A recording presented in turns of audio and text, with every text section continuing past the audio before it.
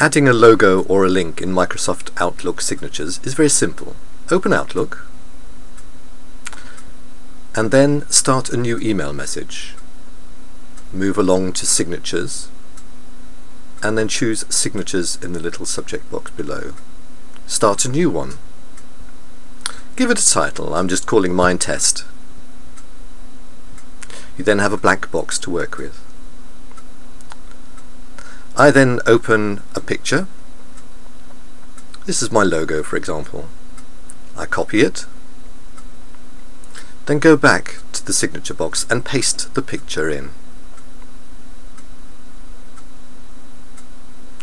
Now what I need to do is to actually highlight that particular picture. Then I go across to the link icon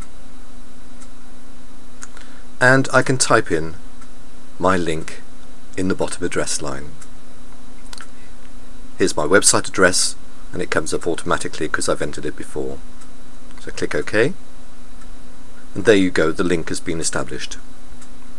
I'm just going to add a bit of text below. For example, it could be your uh, the address of your company or any comment or strapline that you have. Then I save. Click OK and then back to the email. Now this one still has the original signature, so I'm going to go back to signatures, and now you see there is a second one that appears called test, and if you click on that, hey presto, that's your email with a new signature. So I'm going to send myself a test email.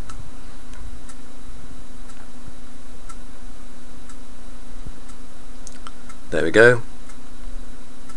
Just make sure I'm sending it to myself. Just want to make sure that it's going to work when it comes through. And originally title it test. So off we go. Click on send. Here we are in my email box and there it is. The email's arrived. Which I'll open it. And there's my email. And if I now click on that link on that picture icon you can see that it works as a link to my website. So there you have it.